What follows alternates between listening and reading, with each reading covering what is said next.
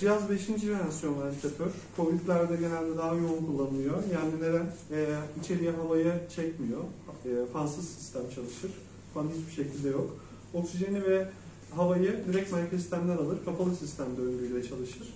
Cihazı açmak için arkadaki düğmeyi şu şekilde bastım. Bu şekilde bir ses çıkartır. Standby moduna geçmek için. Ağzının önündeki mavi düğmeyi kısa bir süre basılı tutmam gerekiyor. Kısa bir süre basılı tuttuktan sonra şu an için kalibrasyonlarını yapıyor. Ee, internal e, flow sensör kalibrasyonlarını yapıyor. Açıldığı anda yani bir başlangıç kalibrasyonu uzun vadeli yapmıyorsunuz bu makinede. Açıldıktan sonra Tidavolüm'de bir e, daha öncesinde sorun yaşamışsanız eksploatar Tidavolüm'de inspirasyon ekspirasyon kalibrasyonu yapmanızı öneriyor.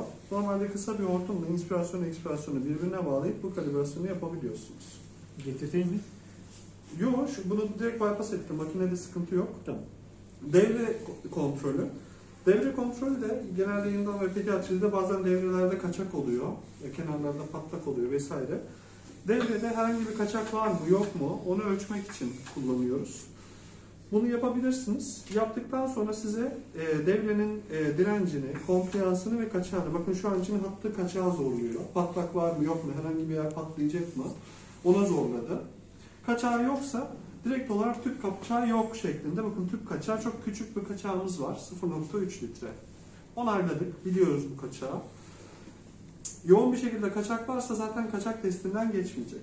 Şu an için cihaz bekleme konumuna geldi. Bekleme konumunda hastanın boyunu girip boyuna göre ideal kilosunu makine bulur. İdeal kilosu üzerinden bir tidavolüm, inspirasyon basıncı hesabı yapar. 1.70 boyunda 67 kilo olması gereken bir hastamız var. Erkek hastamız. Solda yukarıda ventilasyon modlarımız var. Moda tıkladım. Tüm modları bu ekranda görebilirsiniz. Diyelim ki volüm kontrol ventilasyon modunda şurada bir şey yanlış yapılmış onu düzelteyim de.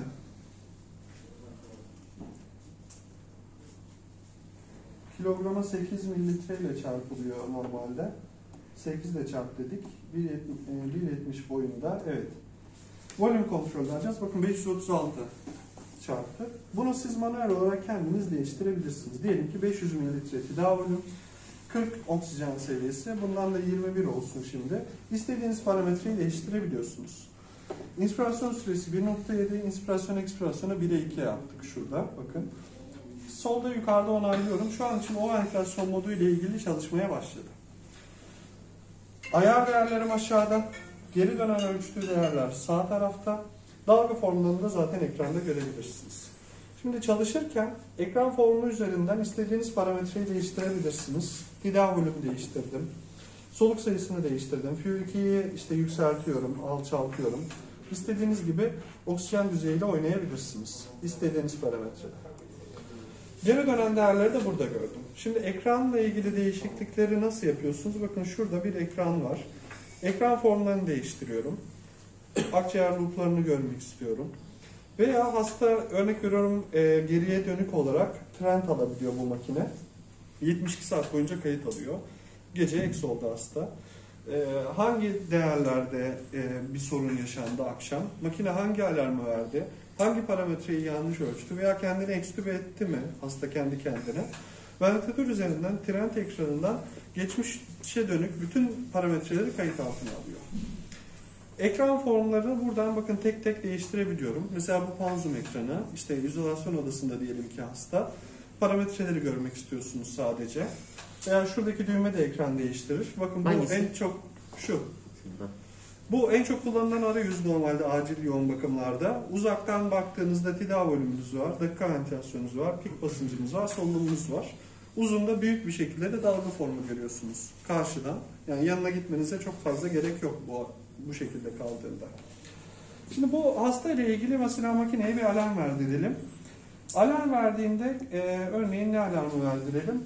Pik basıncı alarmı verdirelim. Size alarmın da sesini kısmışlar.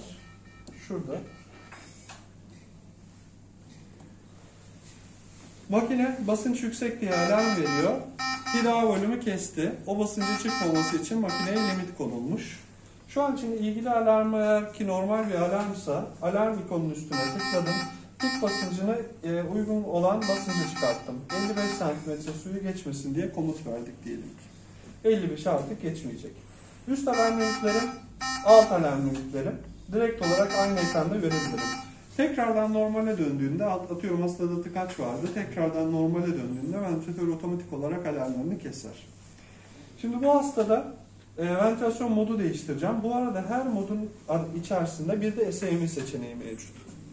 Örneğin volume control SAMI yapacaksam SAMI'yi açtığımda volüm SAMI'ye döndü. Bakın ne geldi? Pressure support yapacağız hastada örneğin. Kendi spontan solunumu var. Basınç desteğini ekrana otomatik olarak atar. Hastanın spontan solunumu hastanın spontan solunumu nereye dokunsak elimize kalıyor. Hastanın spontan solunumu geldiğinde e, spontan solunumlarını kırmızı şekilde görürsünüz. E, ventilatörün bastıklarını